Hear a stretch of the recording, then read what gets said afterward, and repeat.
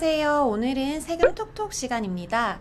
지난 시간에 이어서 상속세 폭탄을 부르는 잘못된 습관에 대해 살펴보고 있는데요.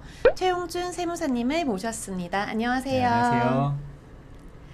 네, 우리가 무심코 했던 행동들이 오히려 상속세 부담을 더 키운다고 하니까 좀 여러모로 당황스러운데요. 역시 아는 게 힘이다 이런 생각이 들고 있습니다. 오늘은 어떤 내용인가요? 네, 계속해서 상속세 폭탄을 부르는 잘못된 행동들 대해서 말씀을 드리고 있는데요. 오늘 다룰 내용은요. 어, 상속 전에 부모님 통장에서 현금 인출해 놓기입니다. 네, 현금을 미리 빼놓는 게 오히려 문제가 될 수 있다. 이런 말씀인데요. 그래도 현금을 미리 좀 인출해 놓아야지 급한 병원비나 장례비도 쓸 수 있을 텐데 이게 어떤 문제가 될까요? 예, 그 갑작스럽게 돌아가실 경우에 가족들이 뭐 밀린 병원비나 장례비, 매달 써야 되는 생활비 이렇게 당장 좀 돈을 꺼내서 쓰셔야 되는데 돌아가시고 나면 자금을 인출하지 못하게 되니까 미리 좀 여유 있게 빼놓으시는 분들이 많습니다. 뭐 물론 사망 사실을 알리지 말고 않고 뭐 카드를 그냥 고인의 카드를 쓰시거나 어, 인출기에서 현금을 빼서 이렇게 사용하시는 분들도 있는데요. 문제는 사망 신고를 동사무소에 하시게 되면 계좌가 동결이 되면서 더 이상 인출이 안 되는데 이제 이런 경우 문제가 되는 거죠. 그래서 어, 미리 이걸 대비하기 위해서 급하게 쓸 현금은 상속 전에 어느 정도 좀 인출해 놓으시는 분들이 많은 것 같습니다. 네, 그렇군요. 그럼 아마 문제가 된다고 하는 건 사실 좀 다른 목적으로 현금을 빼놓는 분들 때문에 그런 것 같은데요. 어떤가요? 네, 이 사실 급한 생활비나 병원비 등에 쓸 목적이 아니라 이 상속 재산을 줄이기 위해서 일부러 현금을 인출해 놓는 분들도 많은데요. 만약에 상속세율이 50% 적용되는 분을 가정을 하면 1억 원을 현금으로 인출해 놓으면 뭐 예금 계좌 잔액이 줄어드는 거죠. 동시에 상속 재산도 1억 원이 감소하게 되는 거고 어, 세율을 50% 적용하면 세금은 5천만 원 정도 줄어드는 셈이거든요. 그래서 이렇게 현금을 좀 인출해서 상속재산 자체를 줄여서 상속세를 줄여보자 이런 생각으로 어, 상속 직전에 부모님 계좌에서 현금을 인출하시는 분들이 많은 것 같습니다. 예, 그런데 이 현금 인출이 너무 지나치면 문제가 된다는 점을 좀 명심을 하셔야 되겠습니다. 이 돌아가신 부모님 계좌에서 인출한 금액이 상속 개시 전 1년 이내에 2억 이상이거나 또는 2년 이내에 5억 이상인 경우로서 그 용도가 객관적으로 명백하지 않다. 즉 현금을 인출해서 어, 이 돌아가신 고인이 어디다 쓰셨느냐 이거를 명확하게 제출을 못한다면 국세청은 아마도 그 돈들은 다 상속인들이 가져간 거 아니냐 이렇게 봐서 이 가족들한테 상속세를 부과할 수 있기 때문에 좀 주의를 하셔야 되겠습니다. 돌아가신 부모님이 그 현금을 어디에 썼느냐 일일이 다 밝혀야 된다. 이거 쉽지 않을 것 같은데요. 이걸 다 자녀들이 가져간 걸로 본다면 가족들이 상당히 억울할 것 같습니다. 예, 그렇죠. 부모님이 자녀들에게 일일이 나 어디에 쓴다 이렇게 얘기하고 쓰시는 것도 아니고 또 부모님들이 쓰신 비용에 대해서 영수증을 다 갖춰놓는 것도 아닌데 마치 그걸 입증을 못한다고 해서 자녀들이 다 가져간 것처럼 뭐 의심받는 것 같아서 좀 자녀들이 되게 불쾌하시는 분들이 많습니다. 그런데 국세청에서 무조건 이렇게 덮어놓고 의심한다는 건 아니고요. 방금 말씀드린 것처럼 상속 전 1년 이내에 2억 이상 현금 인출하거나 또는 상속 전 2년 이내에 5억 이상을 인출한 경우에만 그렇게 보겠다는 겁니다. 어, 이때 출금액과 재입금액을 상계해서 순 인출액을 기준으로 판단하시면 되는데요. 1년에 2억, 2년에 5억 이상 인출하시려면 어, 매달 평균 한 최소 1,600만 원에서 2천만 원 정도 이상을 현금으로 인출하신 분들이 해당이 될 텐데요. 사실 뭐 1,600만 원, 2천만 원이면 다른 분들에 비해서 좀 현금을 유난히 많이 뽑으시는 분들이긴 하죠.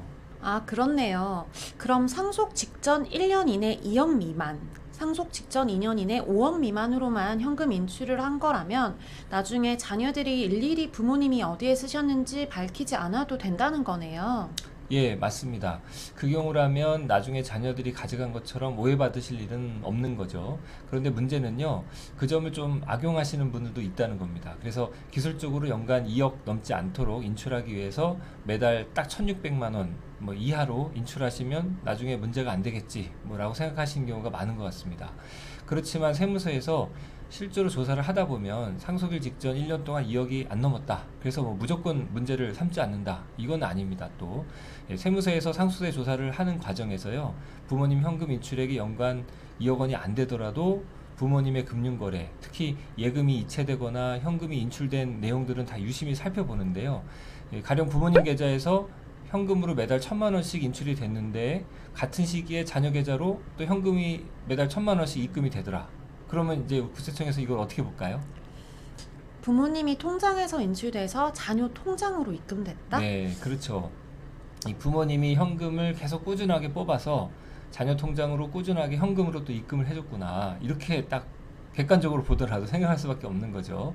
이 세무서는 세무조사를 할 때 부모님 통장만 보는 게 아니고요. 자녀 통장까지 같이 들여다보고 서로 또 대조해 봅니다. 그래서 현금으로 부모님이 뽑아서 자녀 통장에 넣어주고 있구나 이런 사실까지 다 찾아낼 수가 있는 거죠. 그리고 현금을 인출하신 게 아니라 아예 자녀 계좌로 그냥 이체를 하시는 분들도 있거든요. 이러면 이제 계좌상에 딱 나오기 때문에 세무서는 무조건 증여로 의심할 수밖에 없습니다. 물론 자녀가 잠깐 돈을 맡아놓은 거고 어, 사실 이거 다 부모님을 위해서 꺼내 쓴 거다라고 주장을 하실 수 있는데 그러려면 정말 부모님을 위해서 어디에 어떻게 썼는지 증빙 서류가 다 있어야 되는 거죠. 그런데 사실 좀 애매한 경우가 많아요. 예를 들면 자녀가 그 부모님이 맡겨놓은 돈으로 내가 마트에 가서 장을 봤다. 또는 부모님을 위해서 전자제품을 샀다. 뭐 마트에 가서 뭘 샀다. 뭐 가구를 부모님을 위해서 샀다.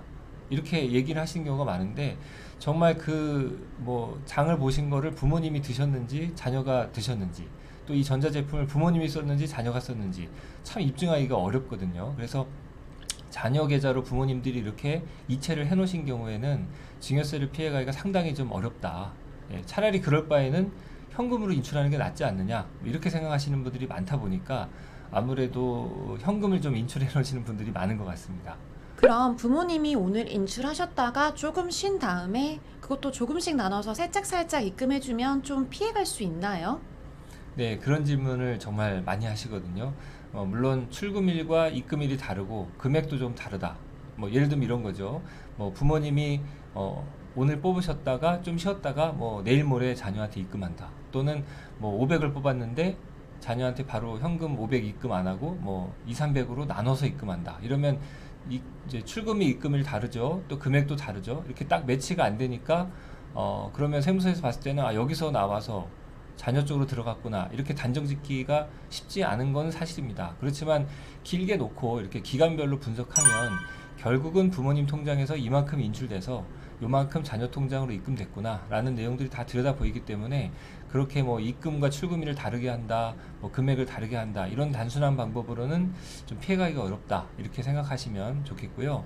어, 만약에 이렇게 부모님 통장에서 빠져서 자녀 통장으로 들어간 이런 증여 사실이 적발이 되면 뭐 상속세도 내야 되지만 증여세도 내시고 가산세까지 내셔야 되기 때문에 전체적으로는 세부담이 더 커질 수 있다라는 점을 좀 주의하셔야 되겠습니다.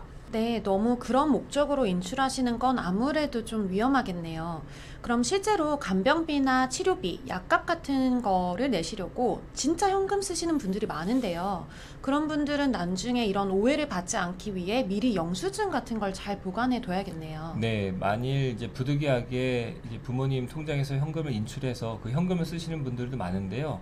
그 간병인 비용 같은 경우도 다 현금으로 줘야 되거든요. 그리고 간병인들 고생했다고 또 때때로 용돈도 주시는데 그것도 다 현금으로 주시는 경우고 또 뭐 이제 몸이 아프시면 가사 도우미도 두셔야 되니까 가사 도우미 뭐 이런 분들 또 간병인 분들 식사비도 또 챙겨야 되고요. 또 식재료도 사야 되고 이런 경우 현금으로 쓰는 경우가 많습니다. 그리고 뭐 약초를 구입한다든가 뭐 민간 치료 받는다든가 이런 경우도 현금을 요구하는 경우가 많아서 물론 이제 증빙을 구워, 만들어 놓는 게 상당히 좀 어려운 경우도 많습니다. 하지만 여러분들이 하실 수 있는 방법으로 최대한 좀 증빙을 미리 확보를 해 놓으셔야지만 나중에 이 돈 어디다 썼느냐 혹시 자녀가 가져간 거 아니냐 이런 좀 불필요한 오해를 받지 않도록 방지를 하실 수가 있겠습니다. 만일 이렇게 현금을 쓰시고 나서 영수증이 없을 경우에는 자녀들이 가져간 걸로 본다고 하셨는데요.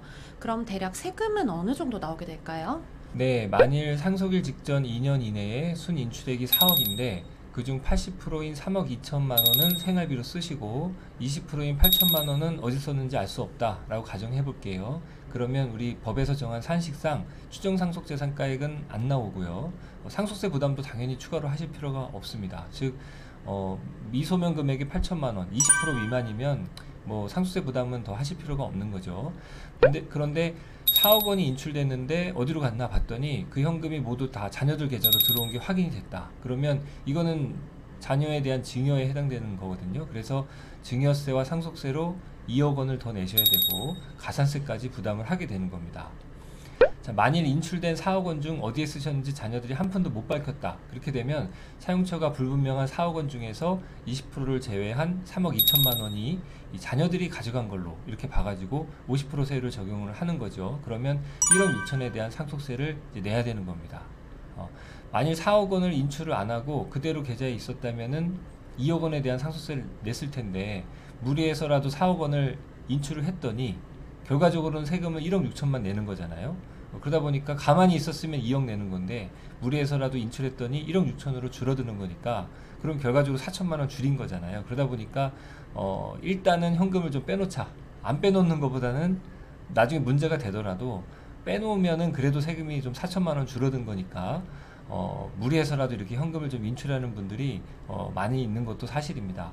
자, 그런데 인출된 4억 원 중에서 그래도 우리가 2억 원 중, 2억 원 정도는 생활비나 간병비로 사용하신 거로 입증을 하고 2억 원을 입증을 못했다. 그러면 좀 더 유리한 결과가 됩니다.